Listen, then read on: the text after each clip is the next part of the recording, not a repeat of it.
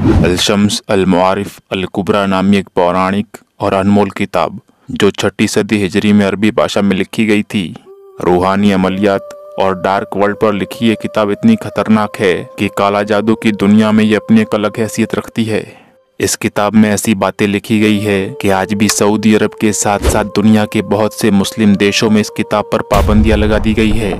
आमतौर पर इस किताब के बारे में जानकारी रखने वाले लोग यही जानते हैं। कि इस किताब को छठी सदी हिजरी के कालिम या विद्वान जो कि रूहानी अमलियात या काला जादू के बारे में बहुत कुछ जानते थे, उन्होंने ही इसे लिखा था। इसमें रूहानी अमलियात, जिन्नत को काबू करने, काला जादू और बहुत से भयानक तरीके मौजूद है। इसी किताब के बारे में कहा जाता है कि इसके लिखे जाने के सौ साल बाद के अरसे तक ये किताब किसी के काम की नहीं थी, क्योंकि जो भी इसको पढ़ने की कोशिश करता, वो या तो पागल हो जाता या फिर जिन्नत उस पर हावी हो जाते थे। सौ सालों तक ये किताब अपनी इसी बात की वजह से काला जादू की दुनिया में जानी जाती रही।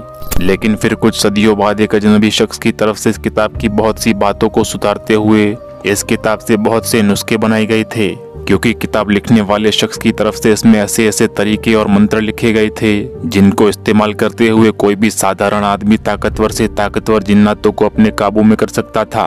इसी वजह से जिन्नात इस किताब की हिफाजत किया करते थे, ताकि कोई इंसान इसे पढ़ ना पाए। लेकिन एक दफ़ा एक अजनबी शख्स ने चोरी छुपे इस किताब में से ऐसे जादुई नुस्खों को निकाल लिया था, जिन नुस्खों को जिन्नात इंसानों तक कभी नहीं पहुँचने देना चाहते थे। लेकिन अब भी इस किताब में मौजूद काला जादू और जिन्नात को काबू करने के बहुत से तरीकों के लिए कोई भी शख्स इस किताब को पूरी तरह समझकर नहीं पढ़ पाता। यहाँ तक कि पढ़ने की कोशिश करने वाले लोग पागलपन, मिर्गी, गुस्सा, शहर या बहुत सी बीमारियों में पढ़कर मर जाते हैं। बहुत से मुस्लिम उलमा इस किताब और इसके लेखक के विरोध में ही बातें कर चुके हैं, जबकि बहुत से स्कॉलर्स के हिसाब से इस किताब के लेखक को यहूदी और इस किताब को इस्लाम के नाम पर एक कुफरिया तब्बा करार दिया गया है। शायद यही वजह है कि सऊदी अरब के समेत कई मुस्लिम देशों में इस किताब पर पाबंदी लगी हुई है। इस्लाम की छठी सदी हिजरी के आखिर में यह किताब मोहम्मद बिन अली बिन सायद की हिफाजत में थी। यह शख्स एक मालदार व्यापारी था और बहुत सी दौलत पाने के चक्कर में इसने ये किताब बहुत बड़ी रकम खर्च करके हासिल की थी। हो सकता है कि उस वक्त इस किताब का सिर्फ़ वही एक आखिरी हिस्सा बाकी बचा था, जो मोहम्मद बिन अली के पास मौजूद था। लेकिन बाद में इस किताब की बहुत सी बातों को बदल बदल कर इसकी बहुत सी कॉपीज बनवाई गई। उस शख्स का बयान है कि जब भी वो इस किताब को खोलकर पढ़ने की कोशिश करता तो उसी वक्त उसके सामने काले रंग का कोई हैवान आकर खड़ा हो जाता, जिस हैवान के जिस्म की सियाही और चेहरे की नहुसत देखकर वो बेहोश हो जाता। कई दफ़ा कोशिश करने के बाद आखिरकार ये किताब उसने काली में दिन के हवाले कर दी थी। इसी किताब से जुड़ी कुछ और जानकारी भी सामने आती है। वो ये कि इस किताब की हिफाजत शैतान जिन्नत किया करते हैं, क्योंकि किताब में मौजूद कुछ जादुई तरीकों के इस्तेमाल से शैतान जिन्नातों को इंसानों के कंट्रोल में आने का खतरा था। ये किताब खुद काला जादू के तरीकों का एक भंडार थी, इसलिए शैतान जिन्नात इस किताब को खत्म भी नहीं कर पा रहे थे। उस वक्त ऐसे बहुत से हादसों के बाद ये किताब दुनिया की नज़रों से गायब हो गई। बाद में सातवीं सदी हिजरी में जब ये किताब एक बार फिर मंजर आम पर सामने आई तो इसमें मौजूद कुछ मंत्रों और बातों को मिटा दिया गया था। इस किताब में मौजूद मंत्र और काला जादू के तरीकों में से अब भी कुछ मंत्र ऐसे हैं, जिन्हें पढ़ने वाला अगर कोई आम इंसान हो, जो काला जादू और तंत्र विद्या के बारे में अगर जरा सी भी जानकारी ना रखता हो तो वो फ़ौरन किसी अजीबो गरीब परेशानी या आफत का शिकार हो जाता है। लेकिन हैरत अंगेज तौर पर अब तक इस बात का पता नहीं चल सका कि इस किताब के वो कौन से ऐसे हिस्से बहुत बुरे और खतरनाक है, जिन्हें पढ़ने से इंसान किसी अचानक आई मुसीबत का शिकार हो जाता है। कहा जाता है कि एक शख्स ऐसा भी था, जो किसी हद तक इस किताब को पढ़ने में कामयाब हो गया था। अब क्योंकि ये बहुत जमानों पुरानी बात है, इसलिए किसी को भी उस किताब को पढ़ने वाले उस शख्स का नाम या पता मालूम ही नहीं। लेकिन लोग उसे अलसाई के नाम से जानते थे। अलसाई नाम के इस आदमी का ताल्लुक यमन के पौराणिक इलाके अदन से हुआ करता था, और वो यहाँ दसवीं सदी हिजरी के बाद वाक़ हुआ था।